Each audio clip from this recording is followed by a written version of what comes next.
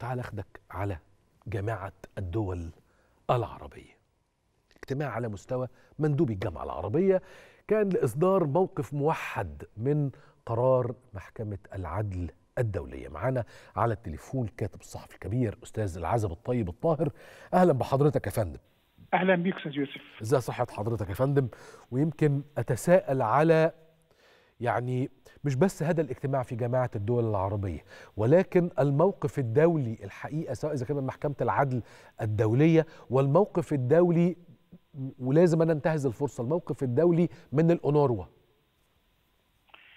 للأسف يعني ال ال يعني يبدو أو أو ليس يبدو ولكن هذه حقيقة آه، أن المؤامرة تت- تتكامل الآن آه، لدى هذه الدول التي لديها منظومة حقوق إنسان عندما نقرأها تشعرنا بأنهم هؤلاء ملائكة ولكن عندما نرى آه، آه، تطبيقات في الواقع نشعر أنهم أكثر من الشياطين شيطنة واستهانة بح- بحقوق الإنسان العربي وفي المقدمة من الانسان الفلسطيني. محكمة العدل الدولية تصدر قرارا مهما يوم الجمعة الماضي واعتبر في الجامعة العربية اليوم في الاجتماع الذي عقد آه، على مستوى لمجلس الجامعة على مستوى المندوبين أنه حدث استثنائي. آه، تكمن أهميته في أنه يعطي فرصة لاستعادة القانون الدولي. يعني كان هذا هذا هو المنظور. لكن الأوروبيين والأمريكان لا يعجبهم هذا. وبالتالي قاموا بإجراء نقلة نوعية في في التناول السياسي والتعاطي مع القضية مع مع مع حرب الإبادة في غزة من آه، محكمة العدل الدولية إلى آه، الأونروا باعتبارها آه، وهي الوكالة التابعة للأمم المتحدة المتخصصة في تشغيل وتوظيف وخدمة اللاجئين الفلسطينيين منذ يعني منذ بعد حرب 48 آه، وبالتالي أرادوا أن يضربوا هذه المنظمة في مقتل. لأنها تقوم بدور إنساني آه، بالغ الأهمية آه، وهم صحيح يقومون بدفع يعني المساحة الأكبر من آه، موازنتها. لكن تصديقهم للسردية الصهيونية التي تقول أن بعض موظفي المنظمة أو الوكالة بالأحرى كانوا ضالعين في في في عملية في العملية الجريئة والنوعية يوم السابع من أكتوبر. ضد الكيان الصهيوني ومؤسسته العسكرية ومستوطناته في غلاف غزة. وأنا يعني ويعني هنا يجعلني أشكك في في بنية ال- البنية السياسية بنية الفكر السياسي والدبلوماسي والقراءة الصحيحة لدى هؤلاء الذين يتحكمون في مصير العالم. هل يعقل أن موظفا مدنيا تابعا لمنظمة دولية هي الأمم المتحدة ال- الوكالات تشت- ت- تعمل تحت إطار الأمم المتحدة. سوف يتحول من إطاره المدني إلى ليكون فدائيا أو عنصرا مقاتلا مع حماس ويشارك في عملية عسكرية. يعني هذا غير منطقي.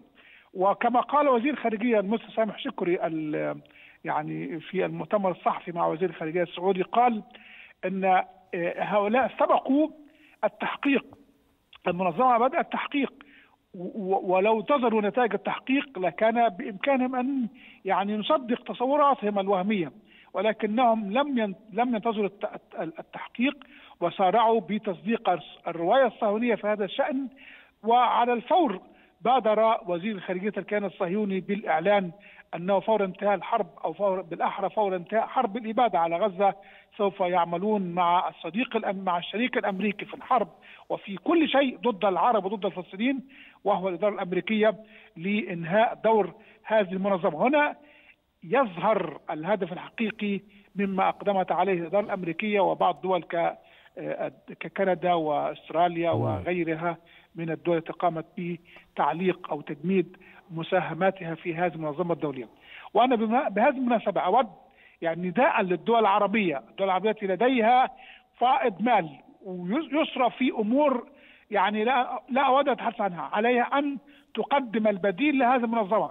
المساهمات العربية في الأونروا ضعيفة وفي أكثر من اجتماع لمجلس الجامعة العربية على مستوى وزارة الخارجية العرب الذي يعقد مرتين في العام مرة في سبتمبر ومرة في مارس.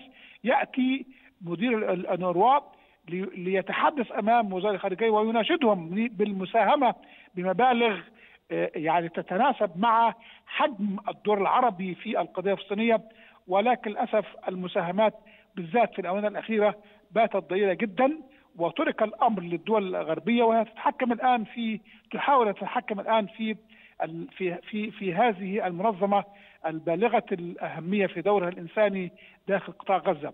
على حال البديل في تقدير شخصي هو أن تبادر الدول العربية في مجموعها وأن تتبنى ذلك الجامعة العربية في في اجتماعها المقبل في أقرب فرصة الاجتماع على مستوى الوزارة الخارجية م. في مارس المقبل وربما في القمة العربية ستعقد في البحرين في 16 مايو المقبل أن تتبنى مثل هذه الآلية أن تبادر الدول العربية بتوفير المساحة الأكبر من موازنة هذه المنظمة التي تخدم شعبا عربيا فلسطينيا. ولماذا نتركه نتركه لهؤلاء الذين يتحكمون في يحاولون يتحكموا في مقاديرنا العربية وبالذات الفلسطينيه هذا يعني جانب. الاجتماع اليوم الذي عقد برئاسة المغرب باعتبار رئيس الدورة الحالية لمجلس الجامعة سوف تنتهي في مارس المقبل.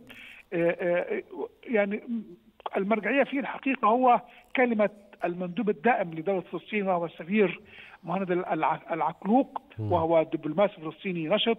تحدث بوضوح أن أهمية هذا الاجتماع أنه يوفر فرصة للدول العربية أن تقف أن تتجاوز مرحلة المناشدة والتنديد و و و وربما يعني أنا هذا التعبير من لدي أنا التوسل للدول الغربية والأمم المتحدة وأمريكا والعواصم الغربية أن يتجاوزوا كذلك إلى الاقدام على خطوات عملية لدعم القضية الفلسطينية ودعم الشعب الفلسطيني في غزة عبر وسائل دبلوماسية قال ذلك بالنص وسائل دبلوماسية وقانونية واقتصادية. وبالمناسبة هذا الاجتماع المهم إنه ان إحنا نقدر بس نصل إلى القرار الموحد والدعم الموحد دون أن نقدم يعني رجل ونأخر رجل زي ما بنقول دايما في مصر يا أستاذ عزب أنا أشكرك جدا جدا كاتبنا الصحفي الكبير أستاذ العزب الطيب الطاهر الكاتب المعروف طبعا والمتخصص في الشؤون العربية.